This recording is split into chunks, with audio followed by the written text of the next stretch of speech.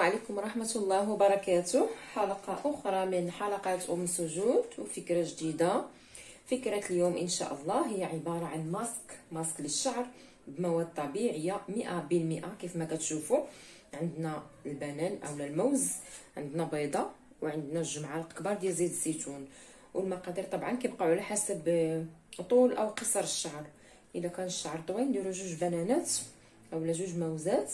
ندير معاهم جوج بيضات كاملة وندير معاهم ربعة معالق ديال زيت الزيتون. آه كان شعر قصير نديرو بيضة وموزة وجوج معالق ديال زيت الزيتون. هاد الوص هاد الماسك هذا صدقوني مفعول ديالو خطير جدا وأقل ما يقال عنه أنه روعة. صدقوني في نمو الشعر و... واللمعان ديال الشعر وكيتستعمل من من الجذور حتى الأطراف وكيدلك مزيان على الشعر. صدقوني راه رائع رائع. زعما هذا أقل ما يقال عنه.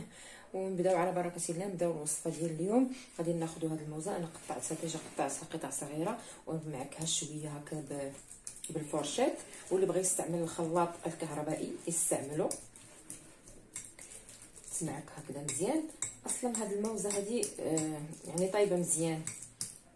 خذوا اختاروا النوعية ديال ديال الموز اللي يكون شوية بدا بدا تيكحل بدا ندير من برا ولا تيميل الكحوليه كيكون طايب مزيان وفعال هذاك على الشعر وكيعطي نتيجة مزيانة. صدقوني هذا الماسك هذا روعة من أروع من أروع ما جربت ملي كت كديروه على الشعر كديروا البوني على شعركم وديروا فوطة سخونة من فوق الشعر وكتخليه لمدة ساعتين. وكيتغسل بالماء دافي.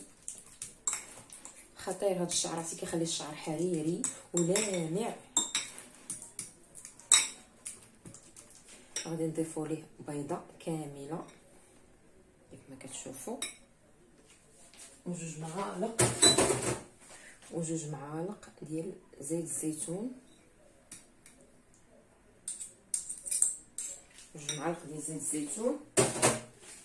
كنخلطو مزيان من بعد ما معكنا هذيك الموزة. كنخلطوه مزيان باش يندمجوا العناصر مع بعضها. كيولي كريمي كيف ما كتلاحظوا إن شاء الله غادي نجربوه وغادي يولي هو معتمد عندكم دائما قبل كل حمام. روعة روعة هذا الماسك هذا خطير. وب وب ومكونات طبيعية. يعني الموز راه معروف المنافع ديالو على الشعر. سي كيخلي الشعر ديالكم مسبسب بحال داير اللي هو لا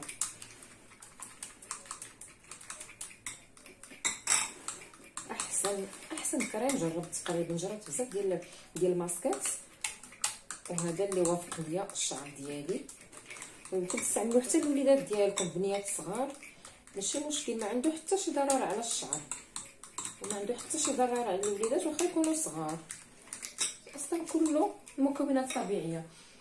من بعد ما اندمجت لينا العناصر كيف ما كتشوفوا هذا هو الشكل النهائي ديالو. غادي ناخذ دابا معلقة ديال جوز الهند. معلقة ديال جوز الهند. أنا أصلا بقات عندي معلقة في هذه القرعة. مقدار ديال معلقة. كنخلطو معاه. واللي ما عندوش جوز الهند يقدر يستغنى عليه ولا يدير زيت الصبار ولا زيت الأفوكا. اللي عنده. ما عندوش يستعمل زيوت أخرى.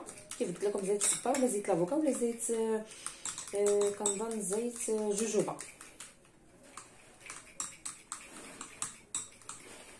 وكيف ما كتلاحظوا هذا هو الشكل أو القوام ديال الكريم ديالنا. كيجي كريمي كيف ما كتشوفوا.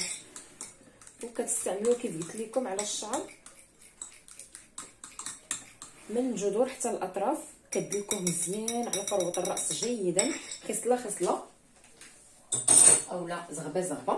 وكنشطوا الشعر من بعد ما كنديروا هذا الماسك هذا كنشطوا الشعر مزيان بالمشطة باش يندمج لينا في, في, في, في الشعر ديالنا كامل. ومن بعد كنجمعوا الشعر ديالنا ونغطيه بوني اولا بلاستيكا اولا سلوفان اللي عندكم. وديروا فوق منه فوطة سخونة. ونخليه ساعتين مدة ساعتين. هو ما عنده حتى شي ضرر إلا خليتوه أكثر ولكن من الأحسن ساعتين. صافي ويتغسل بالماء دافي ما نديروش الماء سخون الماء يكون دافئ ومن بعد عرفتي صدقوني ملي غادي تحيدوا الفوطة اولا ال bonnet على الشعر ديالكم صدقوني بحال بحال بحال دايرين بحال دورتو باتشا. كيكون الشعر زغبه مطلوقة وكتحسوا بواحد الانتعاش في الشعر ديالكم. صدقوني غادي تجربوه وغادي تشكروني عليه. وكنتسنى هادشي في les commentaires ديالكم إن شاء الله.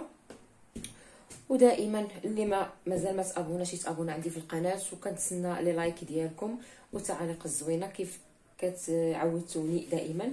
وإلى اللقاء في حلقة جديدة إن شاء الله مع وصفة من وصفات أم سجود وإلى اللقاء.